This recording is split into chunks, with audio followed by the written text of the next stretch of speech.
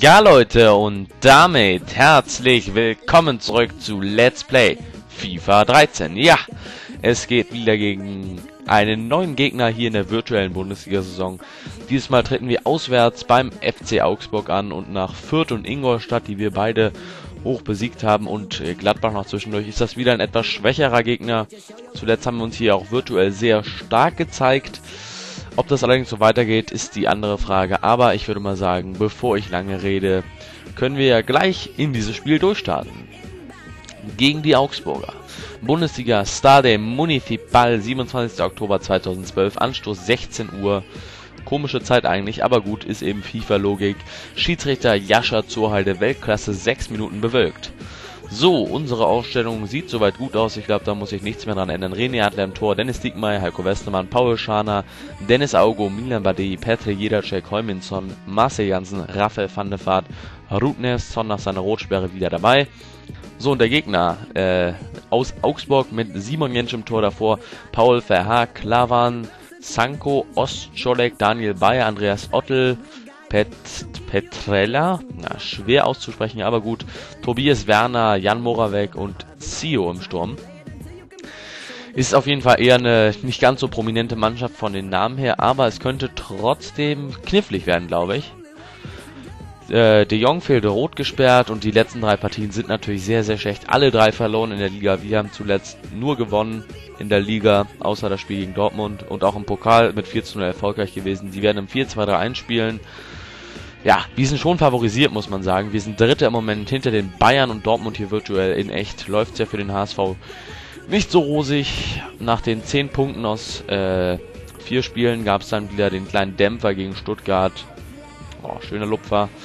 Als ja, 1 zu 0 verloren wurde. Unglückliches Ding, muss ich sagen. Und ich weiß nicht, warum es gerade hier so hakt. Das stört mich gerade ein bisschen. Aber ich würde auch gerne jetzt mal ein Spiel durchstarten, ehrlich gesagt. Wenn das mal okay wäre. Danke, liebes FIFA. So, ab geht die wilde Fahrt. Jetzt sind wir auch endlich sozusagen wirklich auf dem ganz echten Standard. Vom Spieltag her waren wir das ja schon, aber auch auf dem ganz echten Standard. Denn gegen den Augsburg wird der HSV ja auch spielen an diesem Wochenende und das dürfte auf jeden Fall eine sehr interessante Partie werden. Auch in echt, denke ich, ist der HSV favorisiert und muss gegen so einen eher schwächeren Gegner eigentlich drei Punkte mitnehmen. Aber es ist immer noch ein Auswärtsspiel und es ist immer noch ein Bundesligaspiel und da kann immer noch alles passieren. Deswegen darf man sich da nie zu sicher sein, auch hier virtuell, auch wenn wir die Ingolstädter 4-0 weggehauen haben, wenn wir gegen Mainz 4-2 gewonnen haben, wenn wir gegen Gladbach 2-1 gewonnen haben und gegen Fürth gar 3-0, was alles auch nicht so starke Gegner waren, bis auf Gladbach eigentlich. Ähm, dürfen wir nicht zu selbstsicher sein, denn es ist immer wieder ein neues Spiel und wir spielen hier immer noch auf dem Schwierigkeitsgrad Weltklasse und äh, es könnte auf jeden Fall interessant werden. So, Bayer führt die Elf von, äh, oh, wie heißt der? Jetzt habe ich den Namen vergessen. Naja, auf jeden Fall ein sehr junger Bundesliga-Trainer, der auch diese Saison seine Premiere hatte. Boah, jetzt habe ich den Namen vergessen. Ja, ist einer, der einem nicht so geläufig sein muss. Vielleicht fällt er mir noch ein, ich werde jetzt aber nicht drüber nachdenken und einfach so tun, als würde ich den Namen gar nicht erwähnen wollen. Dann merkt ihr gar nicht, dass ich den gerade vergessen habe. Wie heißt denn der? Also ich weiß auf jeden Fall, ich habe ein ganz klares Bild im Kopf. Na gut, Spieltag 9, hier sehen wir die Tabelle. Dortmund mit 21 Punkten aus 8 Spielen, Bayern mit 19, wir mit 17. Also richtig enges Rennen. Hannover und Gladbach auch einen Punkt hinter uns. Das heißt, hier virtuell ist auf jeden Fall richtig Zonder drin und wir mischen ganz oben mit. Das ist wirklich super. Allerdings werden die nächsten Spieltage wieder nicht gegen die echten Gegner sein, da FIFA das hier irgendwie so ganz komisch verschoben hat. Fragt mich nicht warum. Aber ja, heißt eben, hier werden wir gegen denselben Gegner wie in echt spielen. Sechs Tore hat Van der Vaart in der gesamten Saison schon gemacht. Mit dem Pokal hat er zwei Kopfballtore gemacht zuletzt. Ähm, das heißt, ich glaube, das nächste Mal spielen wir gegen ganz anderen Gegner als in echt. Und das Spiel gegen Stuttgart müssen wir hier virtuell auch noch machen, wurde in echt schon gemacht. Also das ist alles ein bisschen verschoben, was ein bisschen schade ist, da ich dann nicht ganz genau die Prognose machen kann für das Spiel, was dann kommen wird. Aber gut. Da kann ich eh nichts dran ändern jetzt und wir starten einfach in das Spiel gegen die Augsburger durch. Markus Weinzierl, heißt der nicht so? Ich meine, er heißt so der Augsburger Trainer. Es ist mir gerade in den Sinn gekommen, Aogo. Aufpassen da, dass er so heißt. Äh, ich glaube, er heißt so. Also Markus Weinziel betreut unsere gegnerische Mannschaft. Aber das auch nur am Rande. Denn es reicht ja, wenn wir wissen, dass sie die letzten drei Spiele in der Liga verloren haben, wie die letzten drei gewonnen haben gegen Mainz, Gladbach und Fürth und auch im Pokal erfolgreich waren. Das heißt, wir sind schon favorisiert, aber dürfen uns darauf, glaube ich, nichts einbilden. So, schwacher Pass von Rutnefs, der wird abgefangen. Zuletzt haben wir auch sehr hoch gesiegt, aber wie gesagt, habe ich ja auch schon mal gesagt, eine Erhöhung des Schwierigkeitsgrades aus Legende steht nicht zur Debatte, weil dann würden wir wirklich abgeschossen werden. Und es ist ja ganz schön, wenn wir nicht irgendwo im Mittelfeld rumdümpeln wie der HSV. Momentan, Alter, super da durchgegangen von Zio und da prüfte auch René Adler, kam ja von Wolfsburg, der gute Zio. Ähm, also es ist ganz gut, wenn wir nicht im Mittelfeld rumdümpeln wie der echte HSV, sondern auch vielleicht mal spannend um die Meisterschaft hier, um die virtuelle mitmischen. Und da sind wir mit Weltklasse genau richtig aufgehoben. Und äh, die richtig großen Herausforderungen kommen dann noch. Bald geht es ja dann auch gegen den FC Bayern, der vor uns in der Tabelle liegt, virtuell. Auch in echt natürlich vor dem HSV. Und das wird dann richtig interessant, weil gegen den Groß, die großen Gegner wie Dortmund zum Beispiel haben wir 0 zu 4 verloren. Und dann bin ich mal gespannt, ob wir immer noch so deutlich gewinnen. Also es sind natürlich schon extreme Leistungsunterschiede in der Liga zu erkennen. Referee, was soll das denn gewesen sein? Ich bitte dich. Na gut, die Augsburger hier die bessere Mannschaft. Bayer lässt Check ins Dunkle laufen. Siu, Moravec, Boah, abgefälscht. Kann noch gefährlich werden, aber geht zur Ecke nur. Glück gehabt. Und wo ich gerade Wolfsburg angesprochen habe in Verbindung mit Zio, ja. Habe ich heute gerade erst gehört. Äh, ja, Magath wurde entlassen. Das Projekt Magath in Wolfsburg ist gescheitert. Richtige Reaktion, wie ich finde. Der ist einfach ein bisschen größenwahnsinnig geworden. Und ähm, ja, die Methoden kann man immer anzweifeln. Einige sagen, die waren richtig, einige sagen, die waren falsch. Da scheiden sich sicherlich die Geister, aber im Endeffekt, wenn ein Trainer dann nicht mehr den Rückhalt der Spieler hat und die meisten Spieler haben sich ja gegen ihn ausgesprochen, dann denke ich, äh, hat das nicht was mit den Spielern, sondern mit dem Verhalten des Trainers zu tun. Und das war eben beim Magath nicht mehr so, dass eine erfolgreiche Zusammenarbeit da möglich war. Deswegen halte ich es für die richtige Entscheidung, den da auch auszuwerfen. Was die wahrscheinlich aber, was war das denn, Jansen? irgendwie muss ich mich hier mal konzentrieren, was Wolfsburg wahrscheinlich auch ziemlich Geld gekostet hat, aber das haben sie in Massen. Denn so wie ich den Mager kenne, hat er sich gut abgesichert, dass wenn er rausgeschmissen wird, er noch eine schöne Abfindung bekommt. Das ist ja dann meistens leider so. Aber gut, wollen wir nicht über Magath reden, sondern jetzt mal über das Spiel. Ich labe hier die ganze Zeit und 20 Minuten sind vorbei und keine einzige Torchance steht bis jetzt für mich zur Buche. Aber die Augsburger machen hier ein gutes Spiel gegen das Team von Jean Legrand. Ach du Heilige. Schön durchgegangen. Bayer, Daniel Bayer. Heilige Mutter Gottes. Sio mit der nächsten riesigen Chance. 6 zu 0 Schüsse für Augsburg. Also den in Anführungszeichen eingeplanten Sieg hier. Der ist aber noch, steht aber noch in den Sternen, so wie ich hier spiele. Nun gut. Son vielleicht jetzt mal. Vielleicht mal eine Einzelaktion. Ah, da laufen sie gut zu. Werner steht da dicht beim Mann. Van der Vaart. Gute Leistung im Pokal abgeliefert. Rutenefs ja, das war der erste Torschuss des Hamburger Sportvereins nach knapp einer halben Stunde, ein bisschen weniger. Und das ist dann doch zu wenig. Ich habe da alle meine Spieler, die meisten meiner Spieler geschont, dass sie hier in der Liga äh, frisch sind. Also im Pokal draußen gelassen. Und trotzdem hat meine Mannschaft ja die Ersatzmannschaft 4 zu 0 gewonnen. Jansen, schade, aber wir werden stärker. Und äh, Van der Vaart wurde aber nicht geschont, weil er ja Spielpraxis bekommen musste nach seiner Rotsperre, hier virtuell. Das schlägt sich aber auch ein bisschen in seiner äh, Laufanzeige nieder, oder wie heißt denn das? Die Fachsprache, weiß ich gar nicht. Seiner Konditionsanzeige. Rutnefs schickt Jansen auf die auf den äh, Weg. Jansen, Marcel Jansen. Nein, nein, nein, nein, nein. Riesige Parade von Jensch. Winkel war aber auch nicht so gut. Drei Torvorlagen Liga Spitze. Artyom Rutnevs soll eigentlich ja mehr treffen als vorlegen. Dafür ist Van der Vaart zuständig. Rutnevs. Oh. Wenn da drin gewesen wäre, hätte ich hier ein bisschen gefeiert, aber das sah dann doch äh, ein bisschen besser aus, als es am Ende dann war. Ruth Nevs! Rein damit! So, jetzt haben wir die Chancen. Jetzt konzentriere ich mich auch ein bisschen mehr. Oh, jeder Check. Was machst du da, Junge? Schana, jeder Check. Van der Fahrt. Der kann schießen aus dieser Distanz. Das sollten die Augsburger wissen. Ruth Nevs, was macht er da? Ruth Nevs! Nein, kommt nicht mehr ran. Mann, Mann, Mann. Eben noch mit seiner artistischen Einlage, aber jetzt machen wir hier ja Powerplay auch. Und nicht gut gestanden von den Augsburgern. Nächste Parade von Jentsch. Ah, die Schüsse sind nicht zwingend genug. Kommt zu sehr in die Mitte heute. Waren jetzt schon drei Schüsse auf Jens, die direkt in die Mitte gingen. Alter, schöner Pass auf Siu. Der ist jetzt, die Frage ist, ob er schnell genug ist. Petrella, Abseits. Abseitsstellung. Oh, verdammt knapp. Aber mit einem Schritt zu spät ist er dann Schana vorbei und steht daneben im Abseits. Ja, Glück für mich, aber wir sind stärker geworden. Haben uns jetzt zumindest auf gleicher Höhe von den Chancen gesetzt, wenn nicht sogar besser. Die Vierter, äh, die Vierter, die mal Augsburger hat nicht so zwingende Chancen wie wir gerade. Jansen. Aogo nimmt er mit. Wird in die Mitte geklärt. Ruth Neves direkt mal versuchen.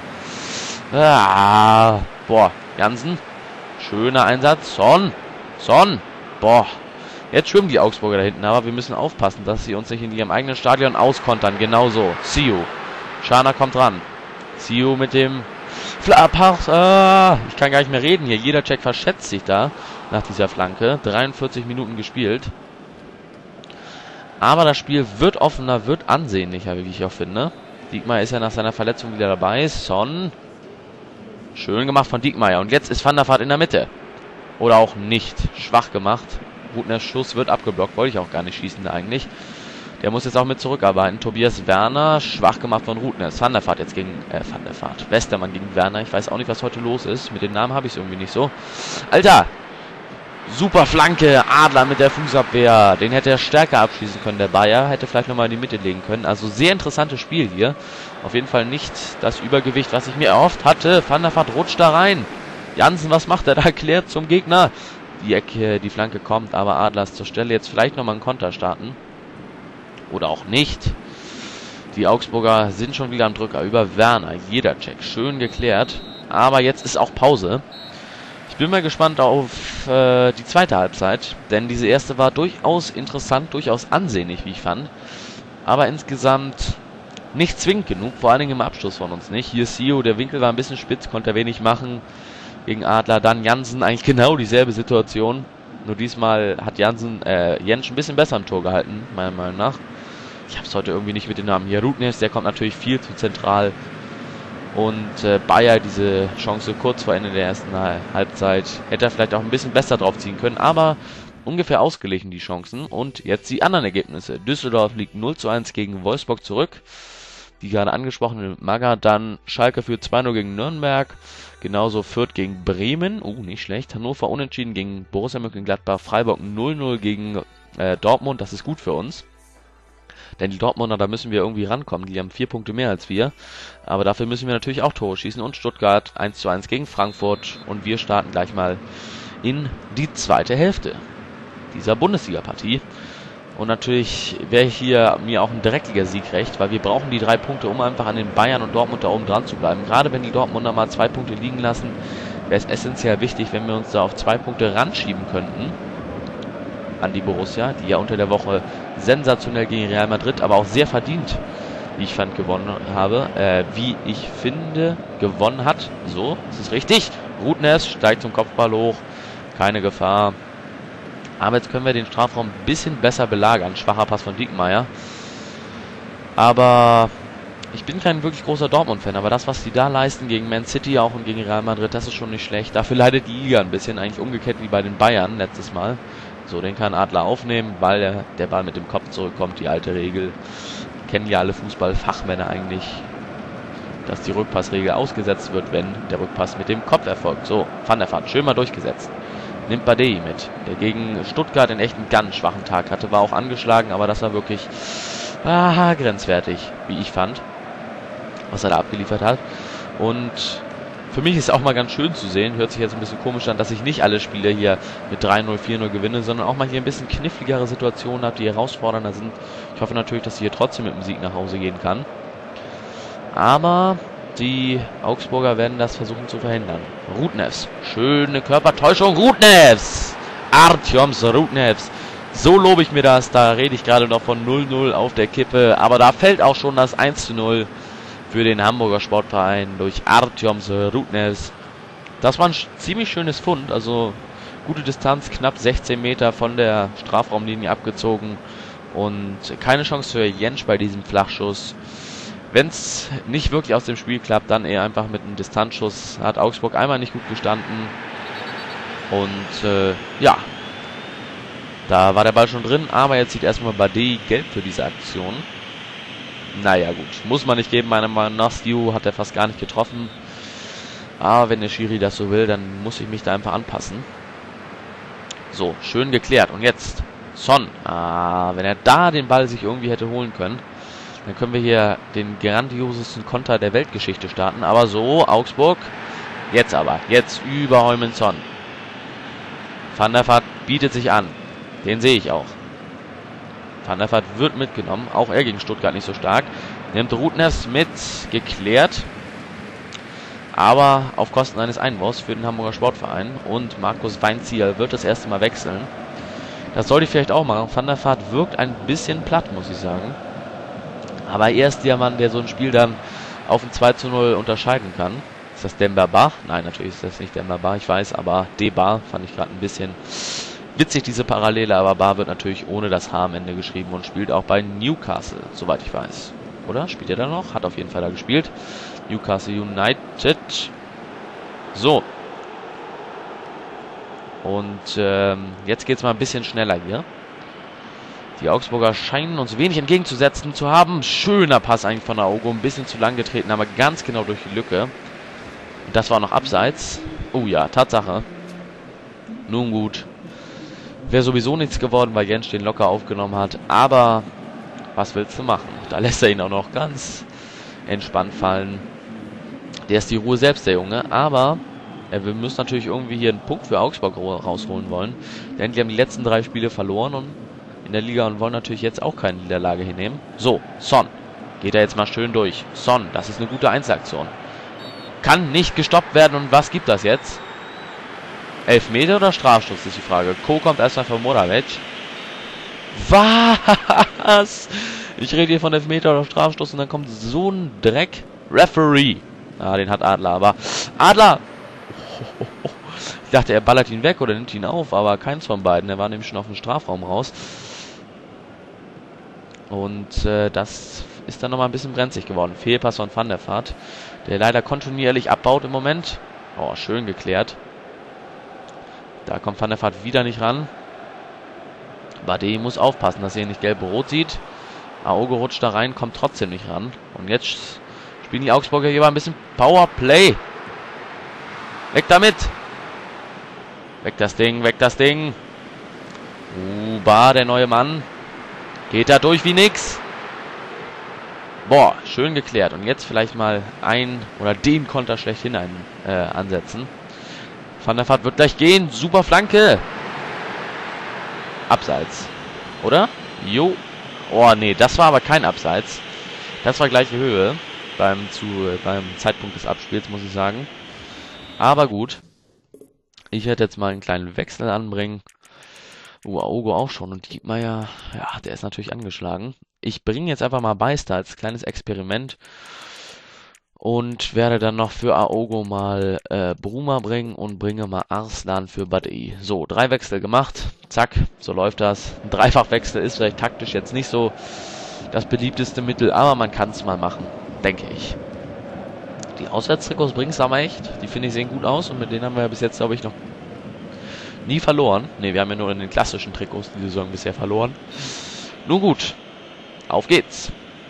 Weiter Abschlag von René The Beast Adler.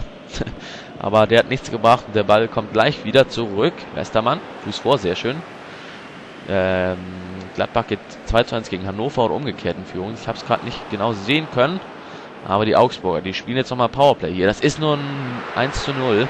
Wir müssen jetzt irgendwie versuchen, da den Konter zu setzen. Denn die werden nochmal alles riskieren wollen. Wir haben drei frische Leute. Das sollte uns eigentlich zum Vorteil gereichen. See you! Boah, Adler mit einer Weltklasse-Parade. Den muss er eigentlich nur noch reinschieben, der gegnerische Spieler. Dritter Wechsel jetzt auch bei der Elf von Markus Weinziel. Die Augsburger wollen nochmal alles aus ihrer Puppenkiste rausholen. Witzig, nicht wirklich. So, Musuna kommt für Siu, der ein gutes Spiel gemacht hat, einige Chancen aber leichtfertig hat liegen lassen. 75. Minute. Dieses Spiel hier geht in die heiße Phase. Boah, den hat Adler auch. Und jetzt sollten sich meine Leute mal ein bisschen formieren. Denn jetzt wird hier ein bisschen Power geplayt. So, Son, ja, der ist nicht ganz so fresh. Beister ist, ist es da schon eher, der super im Pokal gespielt hat. Aber ganz äh, fit ist der auch nicht. Hätte ich vielleicht ein bisschen klüger wechseln müssen. Ah, da muss der, der, der Pass früher kommen. Der HSV jetzt fast gar nicht mehr vor dem Tor. Versucht hier dieses 0 zu 1 über die Zeit zu bringen. Bisschen wie in echt gegen, wie, wie gegen Fürth, habe ich das Gefühl, wer das Spiel gesehen hat. Oh, beißt da in den Rückraum, aber genau den Konter begünstigt der anderen. Also jetzt geht es hier wirklich auf und ab. So, und die neuen Leute sind jetzt natürlich ganz wichtig, dass die hier ein ordentliches Spiel machen. Alter, super Pass, super Pass. Boah, 85. Minute.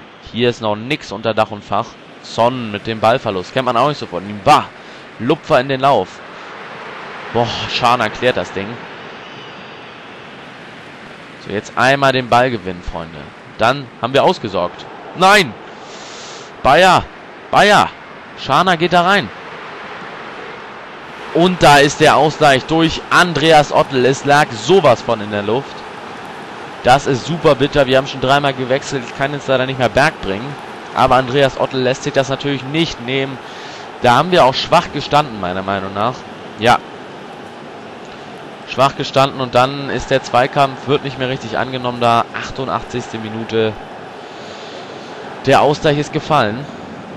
Oh, Beister wird da eiskalt abgegrätscht. Jetzt will ich das hier aber nicht nur aus der Hand geben. Äh, ich bin mal gespannt, wie es bei den Dortmundern steht. Aber wir müssen uns jetzt voll auf unser eigenes Spiel konzentrieren. Nochmal alles geben. Referee! Wenn aus so einer kurzen Distanz, dann war das angeschossen. Alter Schwede. Was ist das für ein Schiedsrichter? So. Nochmal alles geben hier. Hier, alle mitnehmen. Son. Der kann's. Der nimmt Diekmeyer mit. Aber da ist alles zu. Und ich will es jetzt nicht auf eine Flanke äh, drauf ankommen lassen, weil die ist zu schwach. Was macht Diekmeyer da? Was macht Dennis Diekmeyer da? Das war's, oder? Ja. Ich könnte mich wirklich aufregen, Leute. Ein schwaches 1 zu 1 gegen den FC Augsburg. Da war deutlich, deutlich mehr drin. Aber wir haben auch schlecht gespielt, muss ich sagen. Ein schwaches Spiel war es einfach muss ich einfach so zu stehen. Und äh, im Endeffekt haben sich die Augsburger durch ihre, nicht durch ihre spielerische Klasse äh, und nicht durch ihre Chancen, aber durch ihre kämpferische Leistung, ihr Engagement diesen Punkt auch verdient. Am Ende haben wir echt um das Gegentor gebettelt. Und ich hoffe wirklich, dass es so nicht in echt sein wird, weil dann kriege ich wieder einen schönen Anfall, wenn ich so ein Spiel mir dann angucken muss. Aber nee, das war's einfach nicht. Das kann nicht sein. Hier die Chance von Jansen. Aber Rutness hat ja das Tor gemacht und dann kam nichts mehr. Dann hatten wir keine einzige Offensivaktion mehr. Keine entscheidende. Hier das Tor von Artyoms Rutnevs. Zack. Schönes Ding eigentlich. Soweit auch verdient, aber dann hier die Chance nochmal. Aber da war noch ein anderes Ding dabei. Und dann ist das, glaube ich, das Tor. Hier hat Schane den Ball eigentlich schon, denke ich. Dann geht schnell. Ottel macht das Ding rein. Und so schnell kann es dann gehen. So, René Adler mit 8,3 Spieler des Tages. Wenn er Torhüter Spieler des Tages ist, dann zeigt das immer viel über den Spielverlauf aus. Hier sehen wir nochmal, die Augsburger waren die bessere Mannschaft, hatten mehr Schüsse, wenn auch weniger Ballbesitz, aber im Endeffekt war das so verdient und wir müssen ja uns selbst kritisieren, denn das war nix. So, die anderen Ergebnisse. Dortmund 0-0 gespielt auch. Naja, äh, verließen den Platz mit jeweils einem Punkt. Beide Trainer waren nicht glücklich über die liegen gelassenen Zähler, räumten aber nach der Partie ein, dass es ihren Teams an Konsequenz gemangelt hat. Das ist vollkommen richtig. Die Bayern können jetzt zu Dortmund ausschließen. Wir sind immer noch vier Punkte dahinter. Und Hannover, Gladbach und Wolfsburg tunneln sich hinter uns. Also für die Wolfsburger läuft es deutlich besser als in echt. So, äh, Ivo Licevic, ich bin unzufrieden, dass ich nicht in der Mannschaft war, Trainer. Ich respektiere Ihre Entscheidung, aber ich hätte gerne gespielt. Ja, das ist ja schön. Alter! Ein Tag Pause. Wer macht diesen verfluchten Spielplan? So, äh, der Hamburg Sportverein dominiert die Liga. Stuttgart, wo sind die? Da, auf 8 ungefähr. Wird heute versuchen, drei Punkte zu holen und den Abstand auf seine Konkurrenten zu verringern. Legon muss sich, äh, muss die Spieler vom Hamburg Sportverein akribisch auf das nächste Spiel vorbereiten. Das Versäumnis der gegnerischen Taktik ist Verständnis, ist, ist maßgeblich, um den VfB am Torschießen zu hindern und das Spiel zu gewinnen. Die Spieler müssen ihr Bestes geben, wenn sie gegen den beeindruckenden Tamar Scheiner bestehen wollen, der in letzter Zeit mit überragenden Auftreten für den VfB Stuttgart glänzt hat. Mit seiner Weltklasse-Leistung hat Heiner die Fußballwelt auf sich aufmerksam gemacht und Legrand muss nur einen Weg finden, diesen unglaublich talentierten Topspieler nicht ins Spiel kommen zu lassen. Gut, dass wir auch einen unglaublich talentierten Spieler haben. Jetzt spielen wir gegen Stuttgart, gegen die wir der HSV in echt schon gespielt hat. Naja, das ist eben diese Problematik, die ich ansprach, aber da kann man eben nichts machen. Und ja, nach dem 1 zu 1 bin ich ein bisschen erschüttert, aber gut, wir sind immer noch auf Rang 3 und ich bin sehr gespannt auf eure Tipps für das Spiel gegen Stuttgart. Und wir sehen uns das nächste Mal. Haut rein und ciao.